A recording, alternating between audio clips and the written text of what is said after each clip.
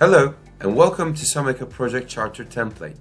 This tool collects the data of your projects and later display it as a charter form or dashboard. So let's start with the database section. All you have to do is input your project ID, project name, and other necessary components. Let's assume for this project the data is the same with this project. Once you're done completing inputting your project, now you can see your project properties on charter form.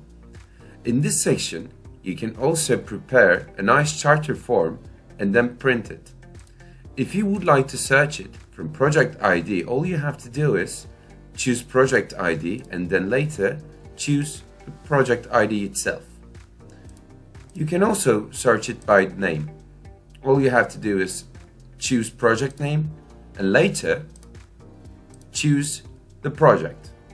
Once you select, the data for chosen metrics will be automatically displayed. All you have to do is choose the proper option from here and the properties of each project metrics will be displayed immediately. If you would like to remove the metric, all you have to do is delete the necessary metrics from here.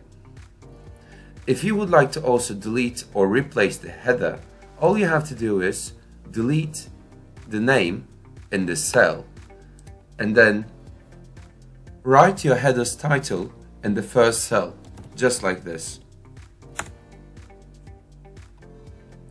And lastly, you can see the results of your project depending on the data that you input in the database section.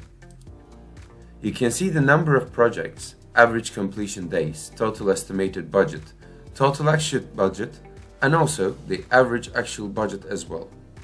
You can also see the spent budget ratio, estimated versus actual budget, the actual budget spent by year, the project numbers by year, and also, lastly, the project numbers by status in the dashboard section. I hope this video helps you to use the template. Thanks for watching.